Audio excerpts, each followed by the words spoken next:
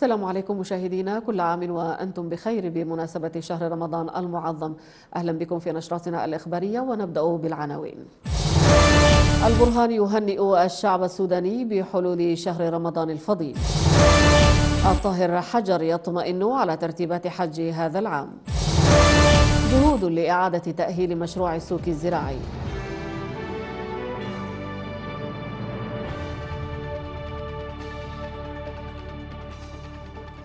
أهلا بكم مشاهدينا كل عام وأنتم بخير. نبدأ الأخبار. هنأ السيد رئيس مجلس السيادة الانتقالي القائد العام للقوات المسلحة عبد الفتاح البرهان.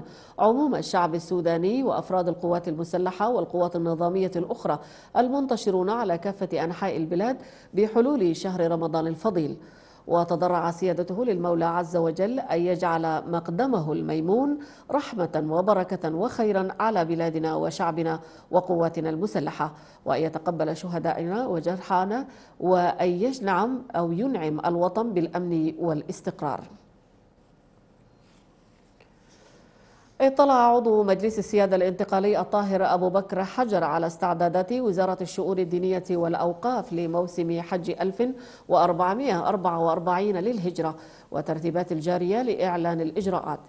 جاء ذلك لدى لقائه بمكتبه وفد اللجنة التنسيقية العليا لترتيبات حج 1444 للهجرة.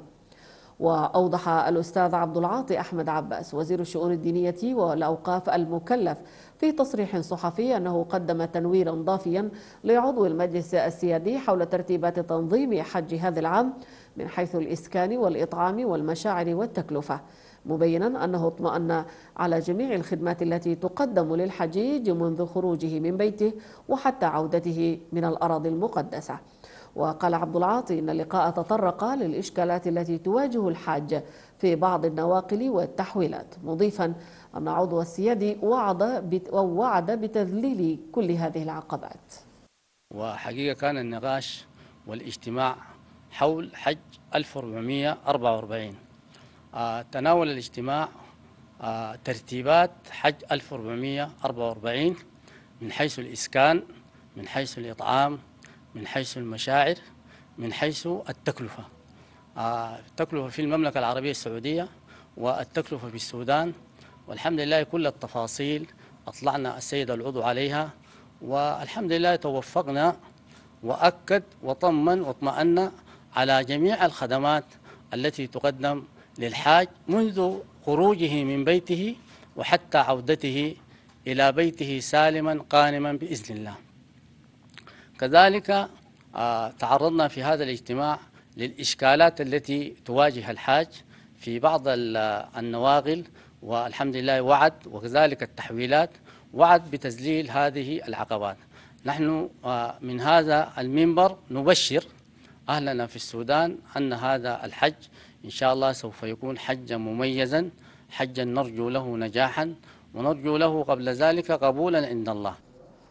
وقف عضو مجلس السيادة الانتقالي ياسر العطا على مجمل الأوضاع بولاية جنوب دارفور. جاء ذلك في إطار زيارته لتشريف حفل تخريج الدفعة المكملة للدفعة الأولى للقوات المشتركة لحفظ الأمن والمعنية بحماية المدنيين بدارفور.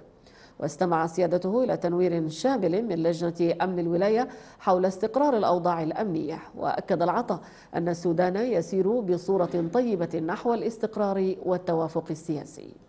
كانت هذه الزيارة حقيقة الغرض منها تخريج الدفعة باء المكملة لقوات حفظ الأمن وحماية المدنيين الذين تم تخرجهم العام الماضي في مدينة الفاشر في جريدة السيل. هذه الزيارة حقيقة حضر بمعية سعادة عضو مجلس السيادة ياسر العطا سعادة الفريق أول أحمد إبراهيم مفضل رئيس مدير عام جهاز الأمن والمخابرات العامة وكذلك الفريق عبد المحمود وكذلك عدد من القيادات الرفيعة من القوات المسلحة والإخوة في اللجنة العليا لقوات حفظ اللجنة العليا للترتيبات الأمنية وحضر معهم معالي سفير المملكة العربية السعودية سفير خادم الحرمين الشريفين علي بن جعفر وعدد من المسؤولين. الحقيقة كانت هذه فرصة لتخريج دفعة بعدد 628 فرد. هذه القوة تعتبر إضافة كبيرة لقوات حفظ الأمن وحماية المدنيين ونحن في ولاية جنوب دارفور تشرفنا اليوم بهذه الزيارة الرفيعة. وقف من خلالها عضو مجلس السيادة سعادة الفريق أول ركن ياسر العطاء على آه، مجمل الأوضاع في الولاية واستمع إلى تنوير شامل من لجنة أمن ولاية جنوب دارفور حول الأوضاع الأمنية في الولاية والاستقرار. أكد ممثل وزير العدل إبراهيم محمد أحمد دريج أن التدريب يمثل أساسا متينا لرفع القدرات وتقديم خدمة ممتازة للمواطنين. جاء ذلك لدى مخاطبته أمس الورشة التدريبية المتخصصة بعنوان التدريب الحاضر والمستقبل والتي نظمتها إدارة التدريب بوزارة العدل. وأشاد بالتطور والحراك والدور الكبير الذي تقوم به إدارة التدريب داعيا منسوب الوزارة لخلق روح التنافس والتميز لأداء دورهم على الوجه الأكمل. ومناشدا بإنشاء قاعدة لمنسوب الوزارة وفقا للتخصصات الدقيقة والتميز المهني والإداري ووضع الشخص المناسب في المكان المناسب. قال عمر هاشم رئيس مبادرة تأهيل مشروع السوق الزراعي اليوم خلال المؤتمر الصحفي الذي عقده بجريدة التيار. إن تأجيل الجمعية العمومية لمشروع السوق باستمرار أمر غير مقبول خاصة وأن عددا كبيرا من المزارعين تضرروا نتيجة لتعثر إنتاج مشروع السوق. وطالب عمر الجهات المختصة في مجلس تنظيمات الإنتاج الزراعي والحيواني ووزارة العدل طلبهم بالعمل من أجل الإسراع في عقد الجمعية العمومية. مؤكدا أنه وحسب الإجراءات القانونية فقد اكتملت كافة الاستعدادات من خلال حصر المزارعين وتحديد عدد جمعيات المزارعين مشيرا إلى أن كافة أصحاب المصلحة بمشروع السوكي يعانون من تدهور الأوضاع الاقتصادية التي قد تصل إلى حد المجاعة إن استمر الأمر على ما هو عليه. ده التأجيل الرابع لمشروع آه، منهار آه، يعاني آه، من خروجه من العمل لمدة أربع سنوات. نحن الآن ندخل في السنة الرابعة ومشروع السوكي حيكون خارج دائرة الإنتاج. وده ده بيعني إنه 700 ألف نفر معناتها حيواجهوا هذا العام مجاعة مجاعة عديل قال خبراء إن مشروع التكيف المناخي يعتبر المشروع الأول من نوعه في السودان الذي يوفر إدارة المعرفة حول التدابير الناجحة للتكيف باتباع منهج النظام البيئي بالإضافة إلى تقييم وتعزيز الجدوى الاقتصادية لاتباع هذه التدابير.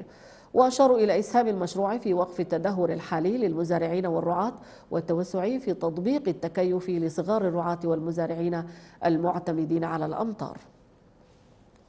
حقيقة نحن سعيدين كل السعادة. نكون في حفير آه، الحواشات محلية السلام. وحقيقة هذا الحفير هو جهد مقدر من آه، من مشروع مشروع التكيف مع التغيرات المناخية إبا بتمويل من الجب وهذا المشروع هو بتصميم وإشراف هيئة مياه الشرب ولاية النيل الأبيض.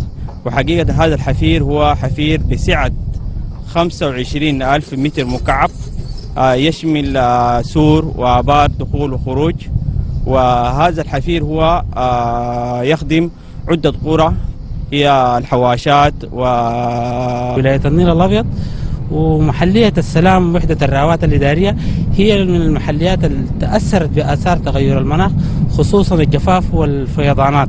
الجفاف في الفترة في بداية الخريف والفيضانات أثناء الخريف فعمليات إعداد الأرض للموسم الزراعي هو زيادة القدرة على حفظ المياه أو الحفظ المكاني للمياه لمقاومة الصبنات في فترة الموسم الزراعي.